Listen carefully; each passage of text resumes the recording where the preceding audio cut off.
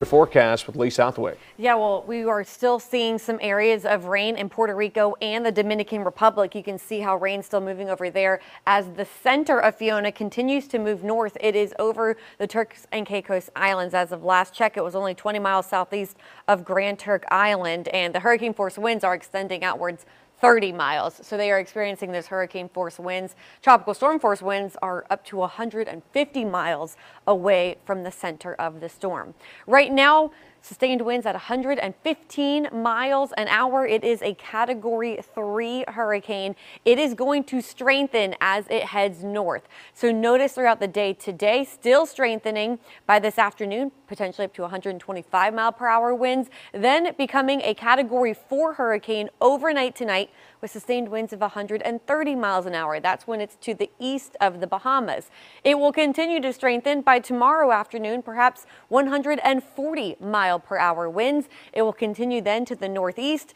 It will pass Bermuda, likely still a Category 4 hurricane with sustained winds of 130 miles an hour. From there, it will continue north, perhaps passing Nova Scotia, and it will become post-tropical at that time. Hey, I have some new information here. This is a new update from the National Hurricane Center, and it's with these two waves that we are watching. There is now a high chance of our next tropical uh, depression forming within the next two days, an 80% chance of that development there within the next two days. We also have this wave here that we're watching as well. So the next names Gaston and Hermine. So two waves that could potentially become those two.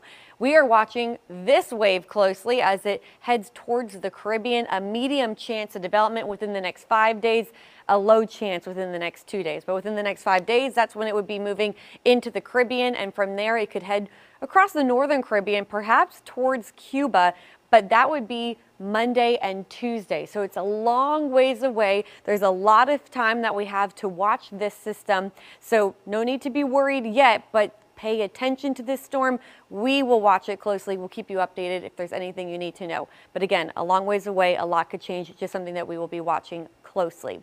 Meanwhile, here the story is the heat. Out there right now, it's fairly comfortable, 60s and 70s, a few low 80s, a little bit of reduced visibility along the coast and on parts of the South Shore.